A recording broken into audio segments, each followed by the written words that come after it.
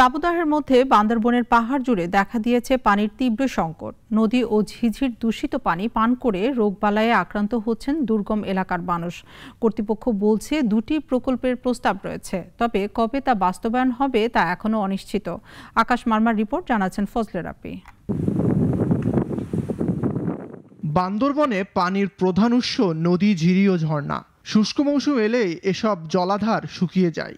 এতে পাহাড় জুড়ে দেখা দেয় পানির তীব্র সংকট। এখন চলছে তীব্র তাপদাহ। পানির সংকটে জেলার দুর্গম এলাকাগুলোতে চলছে পানির জন্য হাহাকার।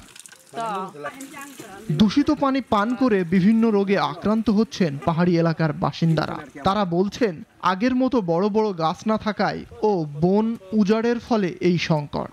আমাদের খালের পানি খুব কষ্ট হয়ে যায়। কোনো রিনওয়েলের সরকারিভাবে আমাদেরকে দেয় নাই। গত বছরের চেয়ে এই বছর আরও পানির অনেক সংকট। নলকূপের পানি কমে গেছে এবং আমরা এখন পানি পাচ্ছি না। আমাদের পানি যেতে হয় অনেক দূরে। কষ্ট করে যেতে হয়। জনস্বাস্থ্য প্রকৌশলী অধিদপ্তর বলছে সংকট নিরসনে দুটি প্রকল্পের প্রস্তাব রয়েছে। তবে তা কবে বাস্তবায়ন হবে তা অনিশ্চিত। সুপেয় পানির দুটি প্রকল্প আমরা সাবমিট করেছি। এটা আগামী অর্থ বছরে এই দুটি প্রকল্প যদি পাশে আসে, তাহলে বান্দরবন জেলার সুপেয় পানির সমস্যা অনেকাংশে নিরসন হবে। চিম্বুক, নীলগিরি সহ বান্দরবনের সাতটি উপজেলায় বিশুদ্ধ পানির সংকটে রয়েছে কয়েক হাজার মানুষ। দ্রুত সংকট সমাধান চান তারা।